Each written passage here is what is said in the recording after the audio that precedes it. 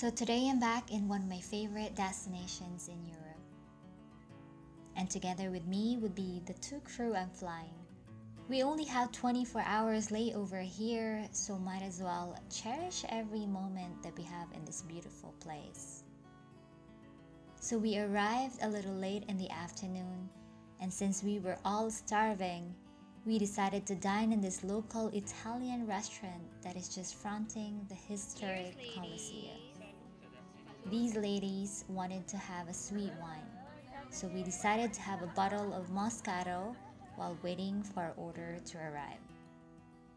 It was also a sunny day in Rome, so we enjoyed our time together while savoring our food with a glass of white wine. I sometimes miss being with a set of crew once in a while though, and the good thing about it is that you get to have someone to take photos of you without setting up your tripod. This spot here was never empty before the pandemic started. That is why I'm glad I decided to go out and got a chance to get a decent photo of this famous Colosseum. The streets were also almost empty, though you can still see a few people here. It was never like this before. This place gets crowded most of the time, even sometimes you only see people as your background in your photos. And yeah, I'm saying it with a little exaggeration that this pandemic changed your lives to maybe forever. The locals here are just having a hard time coping in this trying time. It is never easy for everybody. But I guess we just have to deal with our reality and move forward, even if it means pushing ourselves a little harder to survive. It was around 3 in the afternoon that it started to get a little dark. The sunset here during the winter season is around 4 in the afternoon. And we were trying to explore a bit of the tourist attractions here in Rome. The amazing architecture and its history of the city makes me so fascinated every time I come here, and the feeling never gets old. And though we were not sure of the direction of the place we wanted to go, we still took a few photos of every place we were passing by. There are also times that we were clueless about the place here. But I guess it is the exciting part of the journey. Sometimes you get a few detours, and sometimes it gives you a better opportunity. Just like being able to visit again the Fonte di Trevi, which normally gets crowded all year round. Trust me, I never got this much closer to this fountain before with nobody in my background. So we were grateful that we decided to go out and explore the city again during these times as we never expected this area to be this empty. I think this is something to look forward to when traveling during these times. After staying here for about an hour, we decided to go back on our track and find the direction of the Spanish steps we've been trying to go. And after a few detours, we finally reach our destination just right on time before the sunset. This time we saw lots of people, but I'm pretty sure they were not tourists since they talk in Italian and not so many of them were taking photos. After a while, we decided to go back to the hotel as there was a curfew at 10 in the evening.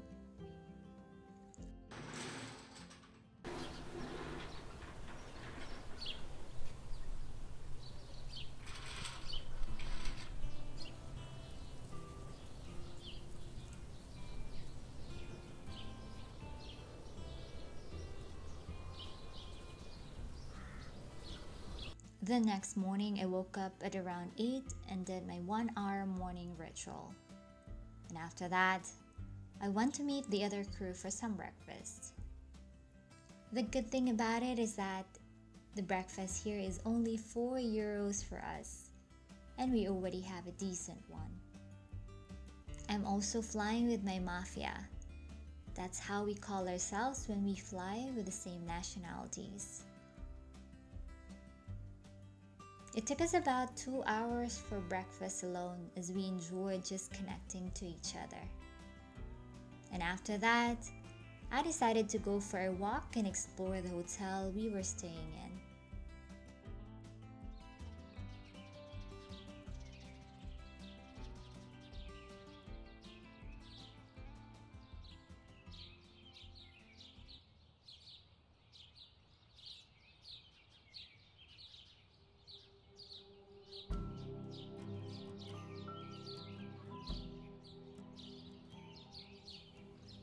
If you've been with me for a long time, I always love nature walks.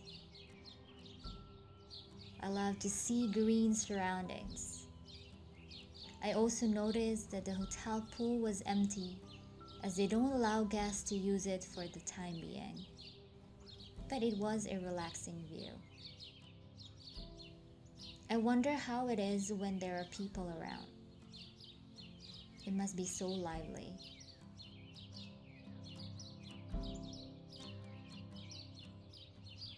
The hotel also has villas with a balcony, but still, everything here was empty.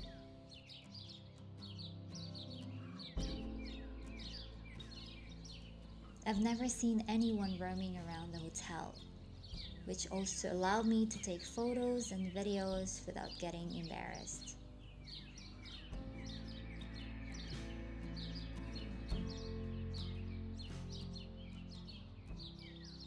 And while exploring the area, I just listened to the birds chirping and the gentle breeze of cold air.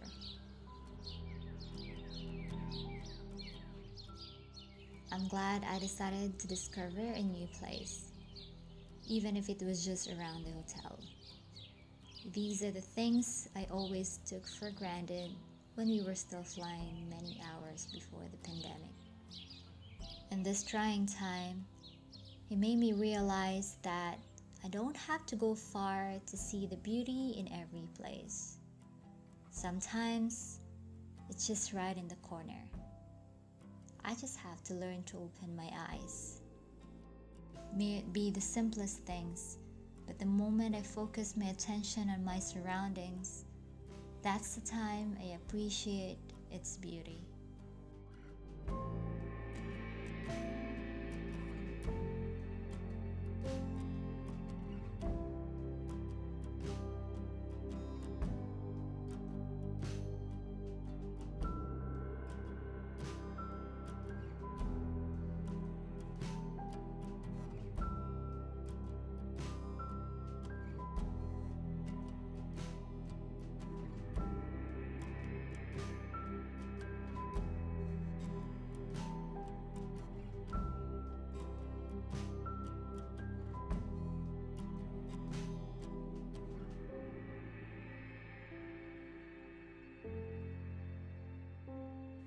Hope you guys enjoyed my short video for today and thanks for watching.